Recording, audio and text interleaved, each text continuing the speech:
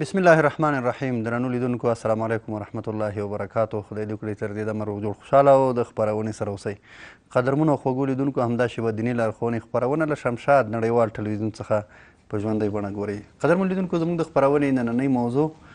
د رسول الله صلی الله علیه وسلم معجزو ته ځانګړې شوې ده او خوشبختانه د همدې موضوع د ښه تشریح لپاره راسره په سټوډیو کې قدرمن مېلمه دی محترم مفتي عبدالاحد خاکسار صاحب راسره دی کور دې ودان وي چې له ځانه سره لرو محترم لیدونکو خپرونه راسره په غور سره وګورئ ترڅو د خپل خوږ نبي له معجزاتو او له هغه په دنیا کې له حیواناتو همدارنګه د نبی علی السلام سره چا مینه لرله حتی حیواناتو مینه لرلې کنه په دې به پوه شو چې هغه مینه څومره وه او موږ ورسره څومره مینه لرو څومره مینه زموږ په کار ده او په دغه مینه کې موږ ته څه لاسته راځي څومره ګټه کولی شو او په آخرت کې به نتیجه څه وي مفتی صاحب تاسو ته خراغلاس هم ستړي مو شي هر کله راشي عزتمند اوسئ آباد اوسئ مفتی صاحب راځو که د خوښي انسانانو نه غیر د نورو مخلوقاتو محبت د رسول الله صلی الله علیه وسلم سره وو که نه او که وو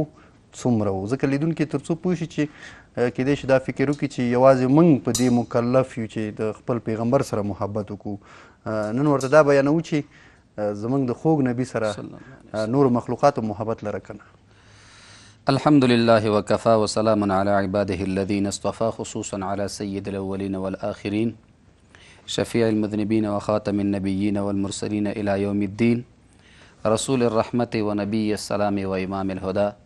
محمد المصطفى والمجتبى وعلى آله وأصحابه شموس الفضل وعلام الهدى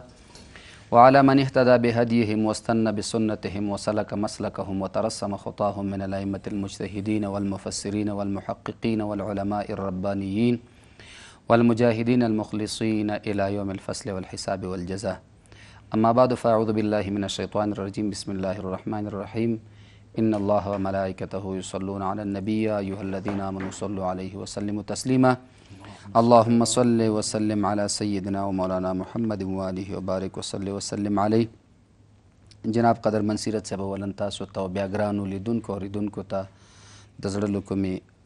السلام علیکم ورحمت الله وبرکاته وعلیکم السلام بعدا جناب سیرت صاحب نبی پاک صلی الله علیه وسلم مبارک الله دسی یو شخص پیدا کړو چې یو کمی هم پکې نه د نور انبیاء کرام مبارک که موږ واقعات وګورو یا قرآن عظیم الشان نو هغې کې الله تعالی ورته وي دا وکه دا وکه دا وکه یا ورته پیغمبر وي الله ما ته داسې یو عمل وښیه چې زه په هغې باندې تا راضي کړم لکه سلیمان علیه السلام والسلام چې وایي وان اعمل صالحا ترضاه د دې بالمقابل نبی پاک صلی الله علیه وسلم ته الله تعالی فرمایي ولسوف یعطیک ربک فترضی زر ده چې ستا رب به تا راضي کړي دلته مفسرین کرام وایي چې د دې نه شان نبوت معلومیږي بله چې د نبی پاک صلی الله علیه وسلم سره څومره مینه وه د الله او بیا د الله د مخلوق چې خالق ور سره مینه کوي نو مخلوق به خامخا کوي ځکه حسان ابن ثابت صیب وایي چې خلقت مبرأ من کل عیب کأنک قد خلقت کما تشاء او یا د پښتو شاعرانو سرشملا عبدالرحمن بابا وایي خدای یې مه ګڼه بېشکه چې بنده دی نورې کل واړه صفات دي په رښتیا هر صفت چې ګورو په نبی علیه السلام کې وو د صفاتو مجموعه بله راځو دې ته چې ایا ما سوا د انسانانو نه یعنی داسې به ووایو چې د ذوي العقولو نه غیر هغه مخلوق د الله چې عقل نه لري ایا د رسول الله مبارک سره مینه کړې ده او که نه د احادیثو مبارکو په ذخیره کې ډیر داسې واقعات شته په معجزاتو د رسول الله صلی الله علیه وسلم کې چې حیواناتو ورسره مینه کړې ده، تیږو ورسره مینه کړې ده، بوټو ورسره مینه کړې ده، هوا ورسره مینه کړې ده. دغسې د الله مخلوق چې څومره دي دې ټولو د الله دا محبوب پیژنده چې دا د الله محبوب دی امام بخاری رحمت الله علیه د حضرت جابر رضی الله تعالی عنہ یو واقعا نقل کوي مسجد نبوي صلی الله علیه وسلم کې یو ډډو په دې به نبی علیه الصلاة والسلام مبارک ډډه وهله او یا به دې د پاسه ولاړو خطبه به یې لوستله نبی پاک صلی الله علیه وسلم د انصارو نه یو سړی یا یوه زنانه هغه دا عرض وکړو یا رسول الله که اجازه وي موږ به تاسو ته ممبر جوړ کړو په ممبر باندې به تاسو ناست یئ په هغې به تشریف فرما یئ. په ځای د دې چې دې ته ډډه وهئ، نو په منبر باندې به ناست یئ او تاسو به دا خطبه لولئ، ځکه هغې کې سړی لږ راحت وي. بله. نبي پاک صلی الله علیه وسلم داسې انسان څوک یې نه خفه کاوه. وایي سیده که د خوښۍ ځای جوړ کړه. هغه لاړ منبر یې جوړ کړه. کله چې منبر جوړ کړ نو د جمعې مبارکې په ورځ باندې خطبه لولي. صحابه کرام فرمایي هغه ډډ د قجوري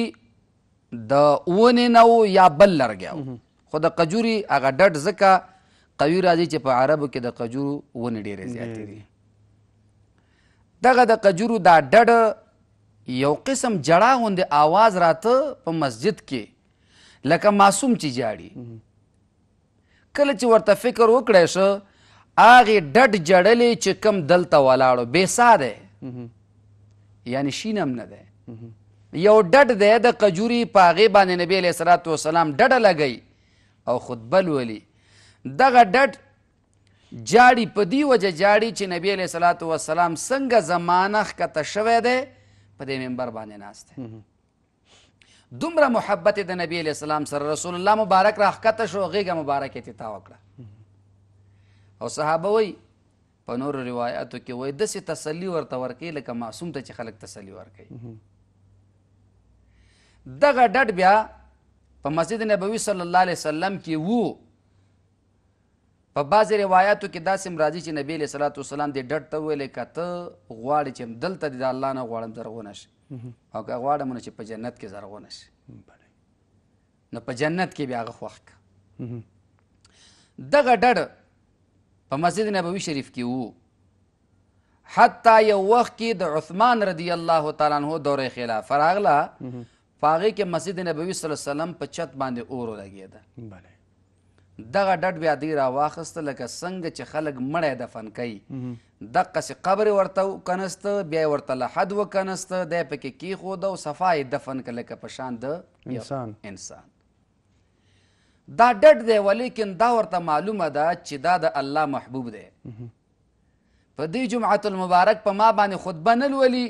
مبارک په فراق باندې جاړي دا چې انسان د رسول الله مبارک په قدر نه پوهیږي د پیژندل نه ده بله حضرت بلال رضی الله تعالی عنہ ته ابو جهل وای دا څه دې شروع کړي دي ځان دې په تکلیف کې واقع کړی دی وطن دې پرې خودلې دی او راغلی خدا خو یو عام انسان دی ته دومره سره محبت کې دا ولی دا خو خیستم نه دی بلال صاحب ورته وایي چې ابوجهله محبوب ته زما په سترګو وګوره بیا به درته معلومات شي په خپلو سترګو ورته مه ګوره ستا سترګې خو د بغز نه ډکې دي ته ورته د مینې په نظر وګوره چې دنیا درته پکې ښکاري که نه د مسلم شریف روایت ده نبی پاک صلی الله علیه وسلم مبارک فرمایي وای زه مخکې د پیغمبرۍ نه چې روان به وم په ما باندې به کاڼو او بوټو سلام کاوه هغه کاڼي او بوټي اوس هم زه پېژنم په مکه معظمه کې چې په ما به سلام کاوه دلته تیږه ده حدیث مبارک کې واضح بیان دی چې زه ګورم هغه ونې او هغه تیږه چې په ما باندې سلام کو زه اوس هم پیژنم تاکید د پر نبی رسول الله زه اوس هم پیژنم یعنی هغه اوس هم د سلام نه لاس نه دی اغسته بله اوس هم را باندې وایي او د دې کلک ثبوت یو سړی دا و چې کاڼې څنګه هغه کې عقل څنګه راغی جمادات دي په دې کې د کوم ځای نه راغی ژبه نه لري ژبه نه لري نو د دې به زه یو لنډ مثال ورکم دلیل به د حدیث مبارک نه ورکو نبی پاک صلی الله علیه وسلم مبارک د احد د غره د پاسه ولاړ دی د احد دا غر تقریبا په ډیرو ځایونو کې استعمالیږي ځکه نبی علیه السلام ورته دعا کړې ده د احد د غره د پاسه نبی علیه السلام ولاړ دی او دوه ورسره خلفا دي درې یو ورسره صدیق اکبر دی یو ورسره عمر فاروق دی یو ورسره عثمان غنی رضی الله عنهم اجمعین دا درې نفر دي یا خو په دې غره د پاسه ولاړ دي څه خبره نشته یا چې کله درې واڼه په یو ځي باندې قرار کوي ولاړ دی درې واڼه رسول الله مبارک او درې خلفا یو دم د احد غر په خوځېدو شي د احد غر خوځېدو باندې راغی زلزلې غوندې دغه خوځېدل د دې غره په څه وجه دی امام نووي رحمه الله ذکر کوي د دوو وجوهاتو نه دی یا د دې وجې نه دی چې د شان نبوت برداشت کولای نه شو دومره زور یو دومره دباو یو د هغې زور د نه قابو کېدو په وجه بې اختیاره خوځېده نو که دا پکې وي نو هم عقل پکې راغی ځکه تیږې باندې چې څومره زور شي خو نه خوځېږي د احد غر ولې خوځېږي بیا ورپسې حضرت عایشه بیبي فرمایي د نبوت د هغه زور درته وایم وای چې زما په دې په خه باندې به رسول الله مبارک سر مبارکي خو کله چې به وحی راغله یو دفعه دلته سر مبارکي خو وحی راغله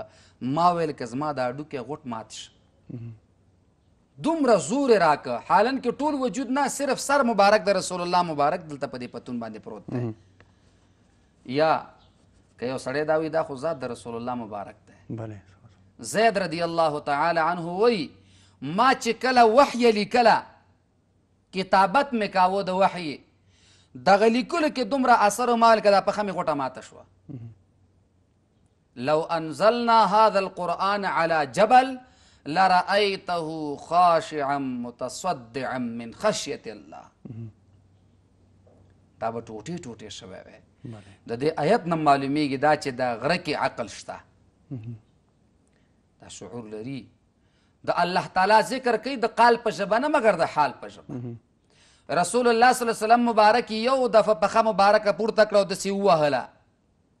اثبت حدو ودرېږه غره ته وایي ودرېږه تیږي ته وایي ودرېږه یا صاحب د فتح الباری ابن حجر رحمه الله وایي چې دا غر خوځېده د خوشحالۍ نه چې واه څومره ښه فضا د الله محبوب را باندې ولاړ او درې خلفا را باندې ولاړ دي نو د خوشحالي نه خوځېده نبی علیه الصلاة والسلام پښه مبارکه ووهله اثبت حدو ودرېږه وایي تا ته معلومات نشته چې یو در باندې نبی ولاړ دی او یو در باندې صدیق ولاړ دی و شهیدان او دو در باندې شهیدان ولاړ دي چې هغه عمر فاروق دی او عثمان غنی رضی الله عنهما دي غر ودرېد غر د خوشحالۍ نه خوځيږي او بیا د رسول الله مبارک په خبره پوهیږي او درېږي کله چې صحابه او دا حدیث مبارک واورېده چې راښکته شول څه قوي ایمانونه د صحابه صدیق اکبر صاحب ته چا سو نه ویلې مګر عمر فاروق نم راتاو شو عثمان غنی نم راتاو شو مبارک هم شه شهادت د خدای پیغمبر درته د شهادت خبره ذکر کړه دواړو ته خدای شهادت ورک یو د ابولولو فیروز د لاسه لاړه شهید شو عمر رضی الله تعالی عنه په سبی مانځ کې په زهر آلود غشي باندې وهلی او حضرت عثمان غنی رضی الله تعالی عنه د منافقین او خوارج د لاسه لاړه بیا نبی پاک صلی الله علیه وسلم مبارک چې وکړ احد غره ته قتل ویلې به چې دا احد غر هغه غر دی چې موږ سره محبت کوي او موږ هم ورسره محبت کوو بله د دې حدیث مبارک نه معلومیږي دا چې تیګم رسول الله مبارک سره مینا کوله نور تفصیل تم راځو خو د لنډې دمې وخت دمې ته ورځو ګران لیدونکو لنډه دمه لرو چېرته مو ځای له خپرونې سره پاتې شئ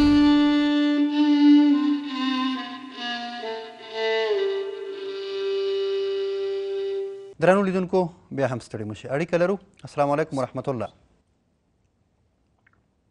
بله السلام علیکم ورحمت الله مولوی صاحب وعلیکم سلام مهرباني خور پوښتنه وکړئ مولوی صاحب زه یو څه موده مخکې د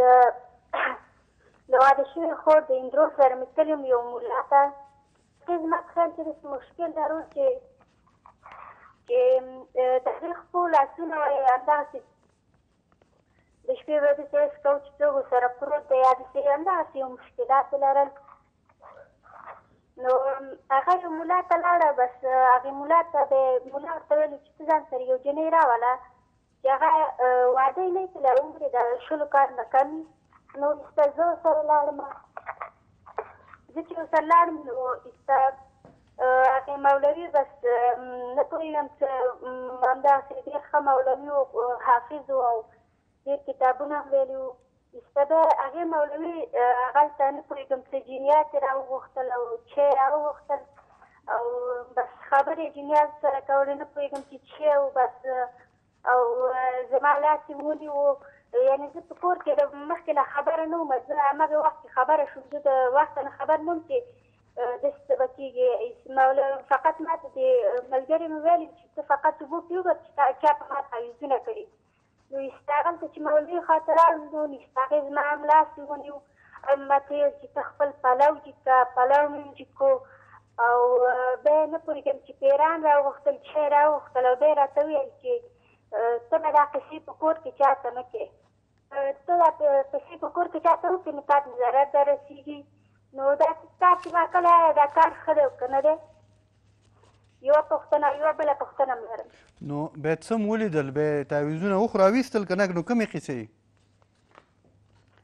تر اوسه پورې پوره شوی نه دی ده وویل وایي درې دفعې نور راشئ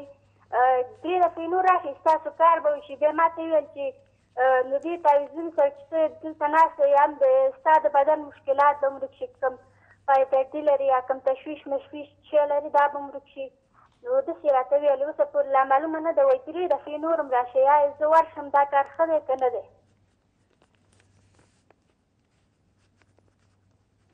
بله اورم ها مولوي صاحب پوښتنه مې راغوښتله چې بیا پوښتنه هو هو سمه ده خپرونه ګوره مفتي صاحب په دې اړه معلومات درکوي مخې ته ښه مفتي صاحب راځو خپلې موضوع ته جناب سیرت صاحب حضرت علی کرم الله وجهه چې مشهور خلیفه دی دی و چې د نبی علیه الصلاة والسلام سره یو ځای نواحیو ته مونږ لاړلو دې نواحیو ته چې کله لاړلو نو د نواحي اطرافو ته وایي لرې لرې ځایونو ته که د ښار نه بیرون بله دغلته ونې او بوټي وي او غرونه وو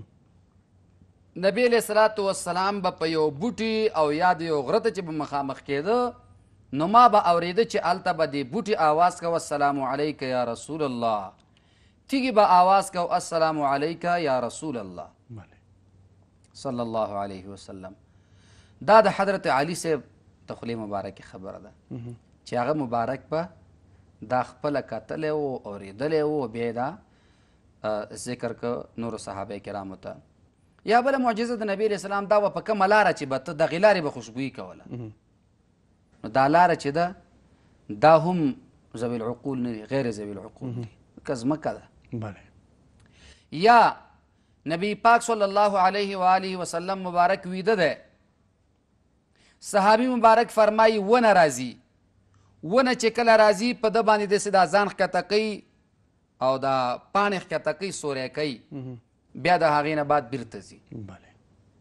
کله چې رسول الله مبارک ویخیږي صحابي ورته عرض کوي قربان عجیب څیز مې ولیده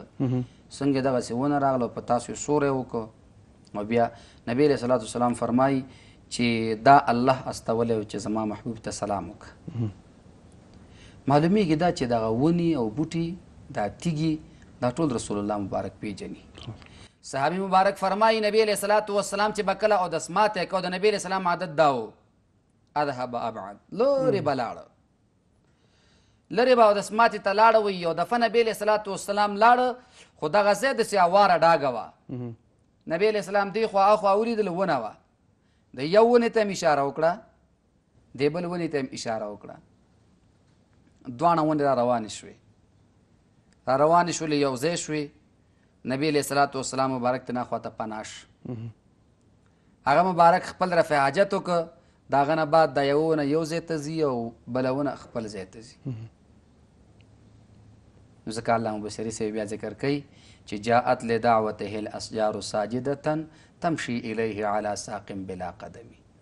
داسې را منډې وهي ونې ورته داسې را منډې وهي بغیر د قدم نه لکه قدمداره انسان منډې وهي بانډیسي راځي یا رسول الله ته د خدای پیغمبري وایي او زه یم ته دا دعوه لرې وایي هو وایي دلیل د نبوت دلیل نبی علیہ السلام فرمایي ته ووایه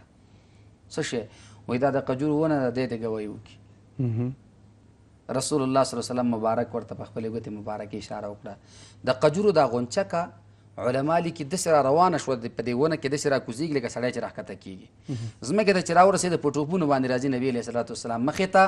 کله چې د رسول الله مبارک مخې ته راځي دلته کلمه وایي چې اشهد الله اله الا الله وحده لا شریک له واشهد ان محمدا عبده ورسوله نبی علیہ السلام ورته بیرته اشاره کوي بیا بیرته خپل ځای ته ځي باندې سي ایمان وروړي دا الله پیغمبر دی ټول پیژني حتی ونی او بوټي د نبی علیہ السلام په خدمت کې استعمالیږي نور خو پرېږده خدمت ورته کوي کله چې ګزار راځي دی ورته ځان مخې ته کوي د رسول الله صلی الله علیه وسلم مبارک سره مینا پیجنی حتی بعض روایتو کې د سم راځي نبی له صلوات و سلام مبارک چې دغه صحابه ته فرمای ما د الله ټول مخلوق پیژني ما سوا د اهل مکه ونه انسان مې نه پیژني ولی د په ضد کې راغلی د په عنایت کې راغلی نو معلومیږي داسې ډیر احادیث شته جناب سیرت صاحب چې هغه کې ونو او تیګو د رسول الله مبارک سره مینه کړي او سلام یې پکړه مننه مفتی صاحب را بشو د حیواناتو مینې ثبوت شته د نبی علیه السلام سره جناب سیرت صاحب ښه پوښتنه ځکه هغه جدا دی دا جدا دی او حیوان کې معقل نشته بله او بیا په حیواناتو کې چې دی اوښ ډېر ضدي شی دی عزت کوي ډېر بهر تقدیر دا د الله نبی دی صلی الله علیه وسلم هر څه پیژني حضرت عائشه رضی الله تعالی عنها چې دا د رسول الله مبارک بیبي ده د نبی رسول الله سلام د کور حال بیانوي و یو سیرلیو د رسول الله صلی الله علیه وسلم مبارک وجود چې به کله په کور کې و دا به غلی کله چې به نبی علیه صلات وسلام ووته د کور نه د به خیزه کې شروع کړه ټوپونه به شروع کړه دی خوا خواته به منډې وهلې کله چې به رسول الله مبارک راغی دا بغل یو طرف ته کوچ کې وکیناسته نو دا ولې وای دغه حیوان به د نبی له صلوات و سلام په مخ کې د ادب نه کار غسته پراتلو به خوشاله کېده کله چې رسول الله مبارک وته د به به حال شو خیزه کې به وهلی چې کوم طرف ته نبی له سلام لاړ سو شو د الله نبی چیرته لاړ بل روایت کې هو به هم دقسې د حسي واقعه راځي حسي ده کله چې رسول الله صلی الله علیه وسلم مبارک راځي دا قلاریږي کله چې مبارک زی دا نه قلاره کیږي برعکس کار کوي حال کې زناور کې دا کار د جناب سیرت صاحب د زمیندارانو ته معلوماتي کله چې دا حیوان خپل مالک وګوري کدا ویده میرا پاسیږي هغه حیوان کې دومره اده وي بله چې را پاسېږي یا د دې لپاره پاسېږي چې ماته به واښه واچوي یا د دې لپاره را پاسېږي چې د سره مینه لري یا د دې لپاره پاسېږي چې دی زما خدمت کې زیم خدمت وکم په هر تقدیر چې هر څه شی دی مګر د رسول الله مبارک سره حیوانات برعکس چې کله مبارک موجود دی د ادب د وجې نه یو طرف ته غلي ناستي ورانه نه کوي د ادب د وجې نه یو طرف ته یو کونج ځانته غوره کړی دی او غلی خاموشه چې کله رسول الله مبارک نشته نو حالت په دې باندې خراب دی غمجن دی د عاشق دسې وي چې کله خپله معشوقه د لاسه ورکړي دی ډېر دسې په بوج پې باندې وي خبره پې اثر نه کوي ګنګ سي ګنګ سي او دغه ګنګسوالی چې دی دا به بعضې وخت کې په مغزو باندې ډېر اثر کوي بعضې وخت کې کم اثر کوي او په انسان باندې لکه ډېر هغه دباو راوړي کنه عشق او محبت دا انسان د سکی چی د لیونی غوندې جوړ کی بله نو نبی علیہ الصلوۃ والسلام مبارک سره د دې حیواناتو د سیمینه یا په بل روایت کې راځي نبی پاک صلی الله علیه و آله وسلم مبارک د هغه مبارک اوخانمو او د هغې مبارک په خدمت کې خر هم وو نبی علیه الصلاة والسلام مبارک په خر باندې هم سورلي کړې ده بله طبراني دغه معجزه ذکر کړې بعضې علما په دې راتو شوي دا حواله مې ځکه ورکړله چې بیا علامه طبراني پسې پسې لاړ شي هغه کتاب دې وګوري دویمه دا ده چې که په دې باندې څوک دا خبره کوي چې دې کې یو راوي ضعیف دی یا مثال په توګه دغه معجزه چې ذکر کړې ده خو د راوي د وجې نه په راوي چې جرح موجوده شي واقعا کمزوري شي خو زه به یو د دې یو مختصر جواب وکم شان د رسول الله صلی الله علیه وسلم مبارک کې چې کوم روایات راځي علامه جلال الدین سیوطي رحمه الله ذکر کوي چې د نبوت په شان کې که ضعیف روایت هم راشي ضعیف نه دی دا قوي دی بله وایي ولې وایي ځکه نبوت ځان خپله ثابت ده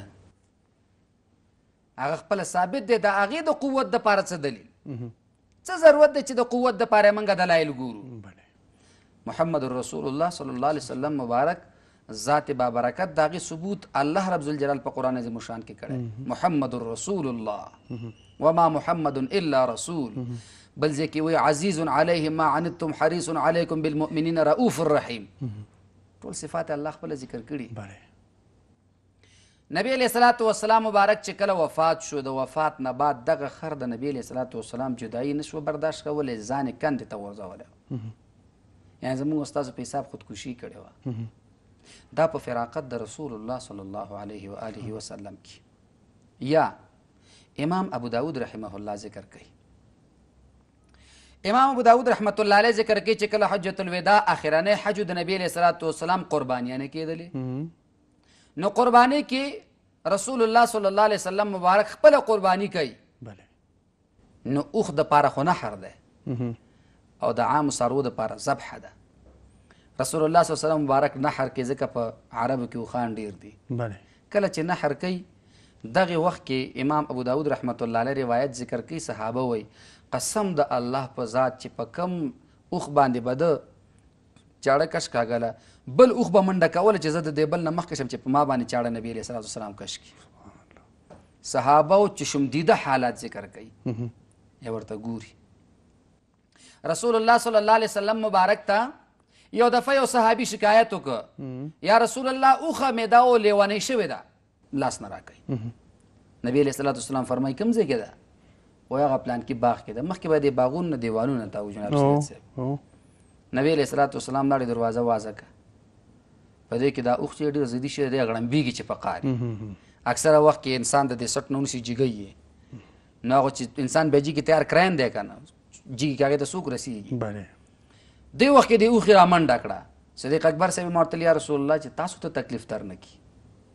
نبی علیه الصلاه والسلام مکه وي ورسره پرې دی او خراغله د رسول الله مبارک په خپل مبارک کې پرې وتله سر دغه سر را واخست د رسول الله مبارک په خپل مبارک کې کې خو ده نبی علیہ الصلوۃ والسلام ورته تسلی ورکي صدیق اکبر صاحب ما ورته یا رسول الله تاسو زناورم پیژني دا الله نبی نبی علیہ السلام مخ راواړو چې ما د الله ټول مخلوق پیژني مګر اهل مکه مې نه پیژني بله انسانیت په زور منکر شوی دی زه وایم جناب سیرت صاحب د الله په ذات قسم اس داسې ثبوت نه پیدا کیږي چې یو سړی زمونږ د خوږ محبوب صلی الله علیه وسلم نه انکار وکړي هر انسان چې دا دعوه کوي د نبوت دعوه کوي وروسته د رسول الله صلی الله علیه وسلم نه دی کاذب دی فاسق دی دروغجن دی جهنمی دی بدبخته دی د دنیا چې څه قسمه بد صفت دی په دې کې موجود دی که حرامي ورته وای کم دی که شیطان ورته وای کم دی که رزیل ورته وای کم دی هر څه یو داسې بد صفت چې ورته وای دا په ده باندې کم دی ولې د یو محسن پیغمبر نه چې احسان یې در سره کړی د یو محسن پیغمبر نه چې څومره د جهالت د تیارو نه را وویستلې ایا دومره سترګې پټول چې بیا راپاسیږي او دا ویل چې زه اخري نبی یم څومره بدبخته دی حضرت عطا الله شاه بخاری رحمت الله علیه یو دفعه د مرزا غلام احمد قادیانی سره جنجال راغی اخم دا دعوه کړې نو هغه هم چې خلاورو کله چې شاه صاحب راغی ورسره کېناست نو ورته وایي چې ته خو د څه شي دلیل لرې چې ته پیغمبر یې هغه ورته وایي قرآن مجید مې عیسی علیه السلام بشارت دی چې یأتي من بعد اسمه احمد قرآن شریف کې عیسی علیه السلام ویلي چې زما نه بعد به یو پیغمبر راځي نوم به احمد وي نو شاه صاحب ورته وایي و چې ته دا دعوه کوې یو وایي ته خو احمد نه تو غلام احمد تو خود هغه غلام یې یا ورته نه جی میرا لفظ غلام اضافی والدین نه لگا دیا ہے اصل کې احمد ما اصل کې احمد هم دا مور خپل را ته غلام لګولای دی نو شاه صاحب ډیر حاضر جواب مليان ته ویل کافر کوي ما صبر وکړه زوس په بل ترتیب رانیسم هغه ته وای چې مرزا جی ته چې بغیر د غلام نه احمد پیغمبر شوی او ستا لفظ غلام اضافي دی زه عطا الله یم نو زما لفظ عطا اضافي دی مور او پلار چې کوم دی اضافي لګولی دی ته بغیر د غلام نه احمد زه بغیر د عطا نه الله یم او زه په خپل ذات قسم کوم چې تا غوندې خبیث سړی ما پیغمبر کړی نه دی کوم خوانه راغلی فبهت الذي کفر بس خوله بنده شو جناب سیرت صاحب یو انسان چې په شان نبوت باندې داغ لګي دا لوی ناشکره انسان دی نبی پاک صلی الله علیه وسلم ونې پېژني، بوټي پېژني، تیږي پېژني، هوا یې پېژني، ځمکه یې پېژني، اسمان یې پېژني. هغوی د نبي علیه الصلاة والسلام د رسالت اقرار کوي. بله. د رسالت داسې په زرهاو واقعات موجود دي په احادیثو کې خو چونکې د وخت د کثرت د وجې د کمود د وجې نه په دې باندې به اکتفا وکړو چې زمونږ ګران مننه مفتي صاحب اړیکه اخلو السلام علیکم ورحمت الله وعلیکم السلام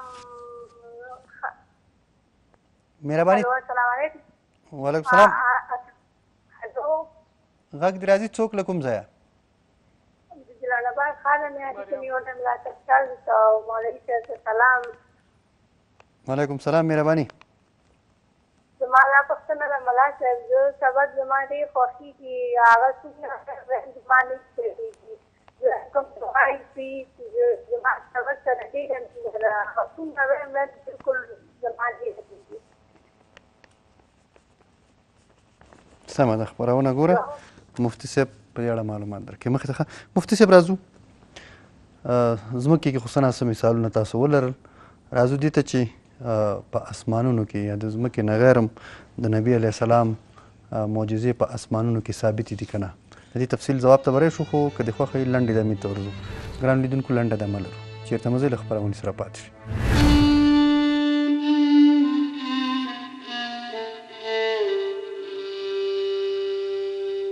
درنو لیدونکو به هم ستړي مشه مفتی صاحب راځو د ځمکې نه بره په اسمانونو کې د نبی علیه السلام معجزې ثابتې دي که نه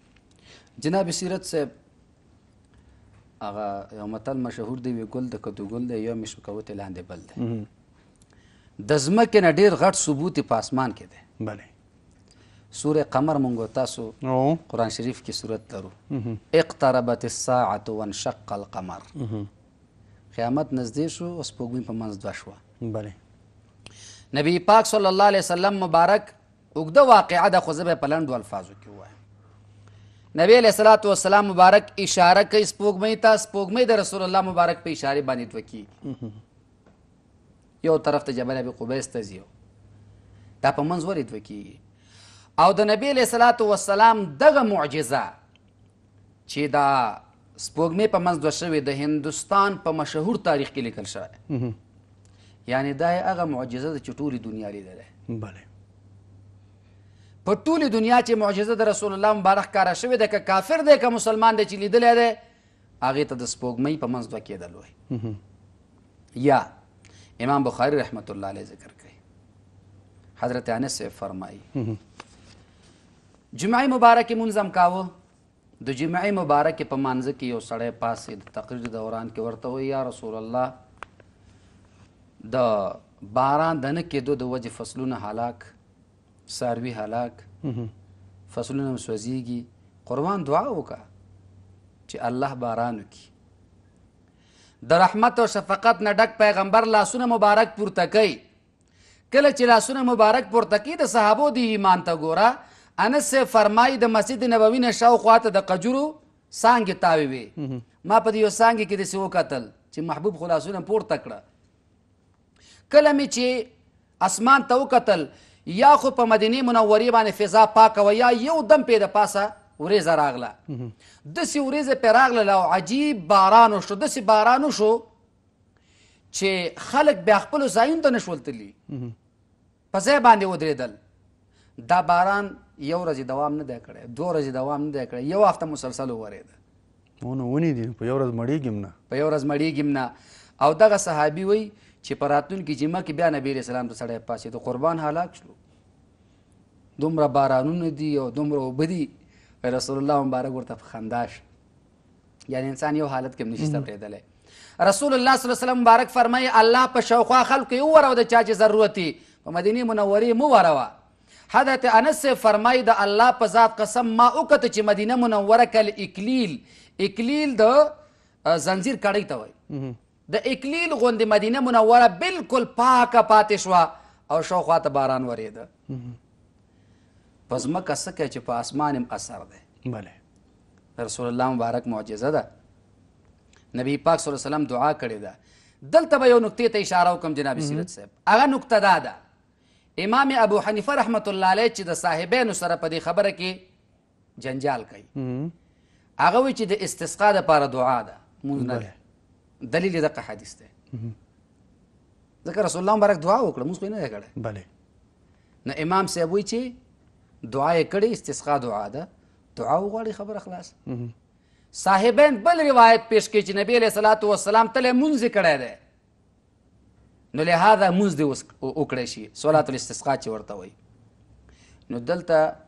یو مولوی صاحب راتو شوی دی ویل چې امام ابو حنیفه دلته د حدیثو نه خلاف فتوا ورکړې ده زه هم چې دا سترګې چیرته وي چې پټې شوې چې دغه حدیث نه لیده چې دغه حدیث نه لیده دا دلیل دی کنه د امام صاحب نو علما لیکي چې مجموعه د دوانو راوړی منظم وکړي دعا وکړي دعا وکړي دواړه به وشي لهذا د رسول الله مبارک معجزه او یا کله چې رسول الله مبارک د مکی معظمه نه وزي اهل مکه په عذاب کړی دی و کال هم دغه اسمان دی مګر باران پې نه کیږي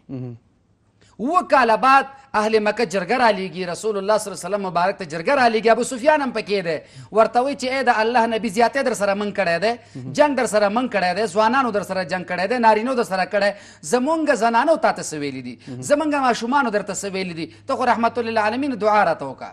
حتی اهل مکه باندې دومره سختی راغلی و چې اوخان به حلالول ججورو کې چې کم اوبه هغه به اسکلي ګندګي یو خړلې و کال په باندې باران نه کېده رسول الله مبارک ورته فرمایي پلان کې مقام نه باندې اورېدل چې باران در باندې شروع شي ابو سفیان یقینا هغه مقام ته لانو رسیدل چې باران را باندې عظیم الشان راغی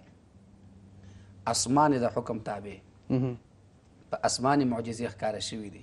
په ځمکه یې معجزې ښکاره شوي دي، په ونو بوټو باندې معجزې ښکاره شوي دي. دا د دروغو نه ډک پیغمبران چې د دروغجنۍ دعوې کوي، دی دې راشي په خپلې ښځې دې یو معجزه دی ثابته کړي چې هغه ښځه د ده خبره مني که نه، په خپل اولاد دې یو معجزه ثابته کړي چې هغه یې مني او که نه، لهذا زمونږ ټول امت مسلمه ته دا ضرور دی په خپل پیغمبر عقیده کلکه کړي.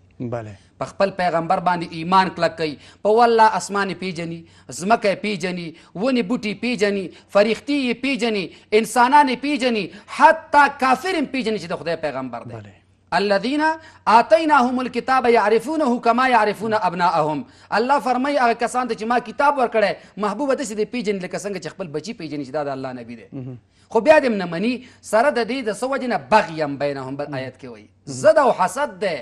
کینه ده نو بالکل مطمئن دي اوسېږي زمونږ ټول مسلمانان ورونه الحمدلله خدای تعالی ښه پیغمبر را کړی دا زمونږ د ختم نبوت عقیده ده تر قیامت پورې بل پیغمبر نه راځي که راغی دروغجن دی قتل واجب دی په هر چا باندې ځکه د پیغمبر شان اوچت دی د پیغمبر شان به هر مسلمان به دفاع کوي بله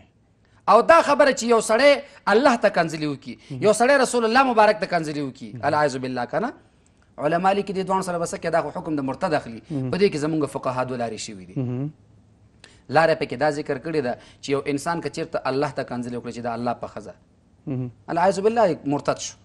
او یو سړي د نبی علیه صلات وسلام بیبیانو ته کنځلې وکړې دواړو توبه وویستله وایي دی کې به څه کوو نو علما لیکي هغه انسان چې الله ته کنځلې کړي دي وایي هغه معاف شو توبه یې ویستله دی بل انسان چې پیغمبر صلی الله علیه وسلم بیبیانو ته کنځلې کړي دا دې معاف نه کړی شي دا دې قتل کړی شي وایي ولې و یو وجه دا ده چې د الله ښځه نشته نو هغه وایي خبره کړې بله او دلته د نبی علیه السلام بیبي شته نو د عقیدتا دا خبره کړې ده دا یقینا مرتد دی دویمه دا ده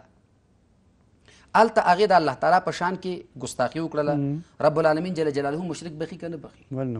هغه انسان چې د پیغمبر توهین کړي الله نه دی بخله یو دا غنه د ابي لهب زوی دی ازمری چې وشکاو علما لیکي چې کوم انسان د خلینو د شرک بوی راځي الله بیا هم بخي پریدي وخت ورته ورکوي څه وخت دپاره چې خیر دی اوسه چې توبه وباسي چې توبه وباسي مګر د چا د خولې نه چې د پیغمبر د بغض بوی راځي الله تعالی هغه نه پریدي نو دلته بیا زمونږ علما کرام لیکي فقها چې دوه کاره به وشي دې سړي چې پیغمبر ته کنځلې کړي دي دی به توبه وباسي نو عند الله پاک شو قتل دې کړی شي عند الناس پاک شو ولې چې سبا ته بل انسان داسې ونه کړي چې د پیغمبر صلی الله علیه وسلم په شان کې توهین وکړي یا توهین امیز الفاظ مننه مفتي صاحب وخت هم درې څلور دقیقې لرو یو دوه درې پوښتنې دي نوریه وایي چې څه موده مخکې یو ملا ته لاړو د خپلې یو خپلوانې سره هغه مولا ورته ویلو چې ځان سره به یو شل کلنه جلۍ راولي کله چې دوی ځي دوی ورته ملا وایي نو تعویزګر ته تللی دی نو هغه ورته وایي چې د جلۍ وایي چې د ملا زما لاس ونیو او بیا راته ویل چې پلو هم جګ کا پلو یې مې زما جګ کو بیا راته ویل چې دغه قصې به کور کې چاته نه کوي تاسو به درې دفعې راځئ او واده داسې ده چې هغه څوک مریض چې تللی چې ده باندې تعویذونه دا به هم وباسم او که په تا کوم اثرات دي هغه هم د منځه ځي نو تاسو به د دوه ځل نور هم راځئ یعنې چې درې ځل پوره شي ورشو